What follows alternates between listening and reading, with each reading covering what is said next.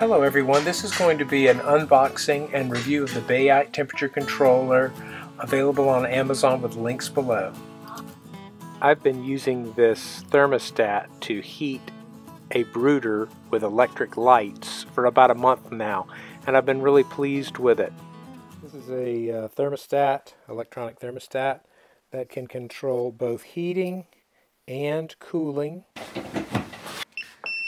You'll notice when it gets plugged in, it immediately goes into error mode. That's because the the sensor needs to be plugged in. Currently, this is showing me uh, temperature of the room. Okay, so what I want to show you now is what I'm trying to get to. I have a box that I'm trying to heat with baby chicks in it, and I want to keep the heat in this brooder box between 85 and 90 degrees. Lights on to heat at 85, lights off to stop heating at 90. I'm going to hold the set button until SV comes on up here. It looks like a SU, but I guess it's supposed to be an SV. And then I'm going to use the up and down buttons to set my top temperature. Then I'm going to hit set again. Now this is showing the differential between that top temperature of 90 degrees and how low you want it to be able to fluctuate. I want it to go all the way down to 85. So in this case, I'm going to increase this number to 5. The temperature will flux between 85 and 90 degrees. Okay. Now to proceed, I will hit the power button, which will take it back to the home screen. We're going to test it. I'm going to actually hold this probe, which will begin to increase with my body temperature. And right now you can see that since the temperature is 73, 74, the heat is on.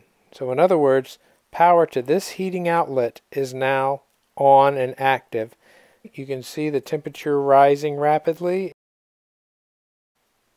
Okay, it's up to 90 and you can see that the heating element is now turned off. So now I'm going to take this away from here. Now we can see the temperature dropping. And when it gets down below 85, we'll look for the heating lamp to come on. There it came. I'd like to show you how to set an alarm. If the temperature gets up as high as 95 degrees, I would like an alarm. What we do first is press and hold the set button. Continue clicking the set button until you see AH, alarm high. I'm going to take it down to 95 degrees. Now we're back.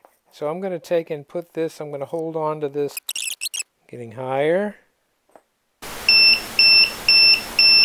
And there's your high alarm there's one last thing I want to mention, and that is I really like that this unit has a safety cutoff switch so that if it gets overloaded, uh, you'll save your unit by cutting off.